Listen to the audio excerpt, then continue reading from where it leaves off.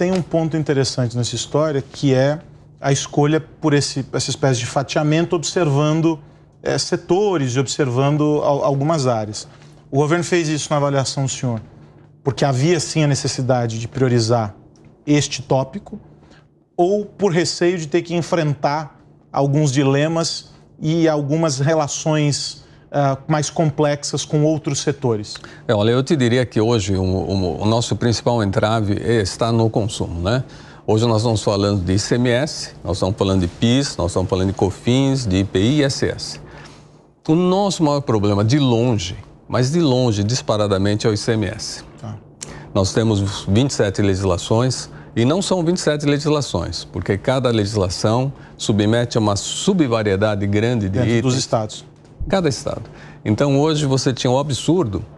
O ICMS, quando foi concebido é, pelo Pacto Federativo, seria o orçamento dos estados. Né? É o, e hoje é o principal imposto isolado é, que nós temos no Brasil. É, é muito importante. É a principal fonte é, de receita de um governo é, estadual. Mas ele deixou de ser estadual. Né? Hoje não tem empresa que faça só uma operação estadual. Ele hoje é nacional. Né? Então, essa transcendência que houve, que causou um embaraço muito grande, causou a questão da guerra fiscal.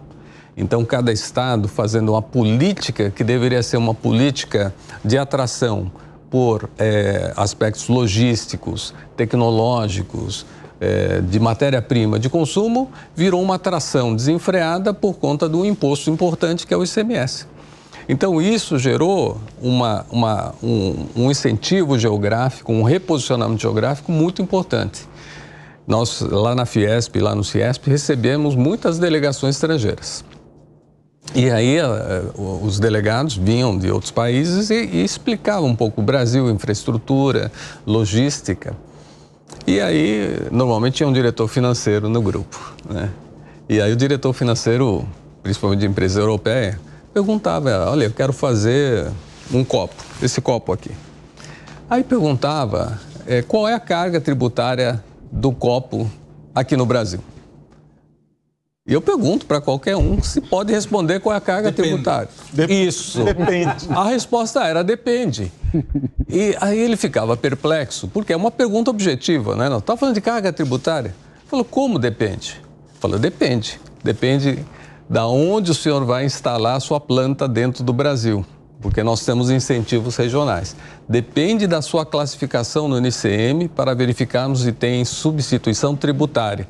Quando entrava na substituição tributária, o assunto acabava, porque para ele entender que você pagava antecipadamente um, um, imposto de forma presuntiva por toda a sua cadeia. Ele desistia do copo e já pegava água na mão. não tinha dúvida nenhuma. E determinado pelo Estado, né? E determinado pelo Estado. Exato. Por cada Estado. Porque antigamente nós tínhamos a subção tributária em nível nacional. Exato. Né? E depois São Paulo inaugurou a subção tributária estadual. Então hoje varia. Então, assim, a pergunta era: depende. Então aí ele via o quanto era complexo fazer negócio no Brasil e especialmente, aí é um ponto que eu acho que é importante, é, a reforma tributária ela tem que dar uma competitividade igualitária. Você não pode ter o desequilíbrio competitivo, né? nós temos um colega economista que, que, que desequilibra não porque eu sou, você faz um copo com uma tecnologia melhor, mas porque você tem um grupo tributário melhor que aproveita o cipoal tributário e consegue um custo melhor do que eu, uhum. com o mesmo produto. Uhum. Entende? Então, essa, essa diferenciação, esse é um ponto positivo da, da reforma tributária, que busca essa equalização quando você tira esse poder estadual, né, de criar esses embaraços estaduais. E olha, cada estado fazia assim, coisas horripilantes, né? horripilantes, né? E a Confaz não conseguiu resolver. Não conseguiu. Aliás, é uma pergunta super interessante, né? Quando a Constituição de 88 foi formada, né, e puxou a Constituição de 67 na parte do CMS e trouxe o S no ICM, já previa a conformação nacional do imposto através de um convênio, uhum. com FAS. Sim. Só que não houve habilidade de se tornar um item. É, na, a guerra fiscal, ela já era prevista pela Lei Complementar 24 como tem que haver o consenso do CONFAS. A pergunta é: não tinha um Estado que tinha a lei aprovada no CONFAS. Claro.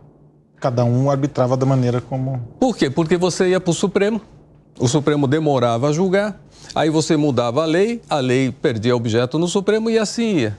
Então, é, de fato, esse, esse, esse grande embrólio jurídico, esse, até esse carnaval tributário, como o Berg coloca, causou essa degeneração da política de investimentos.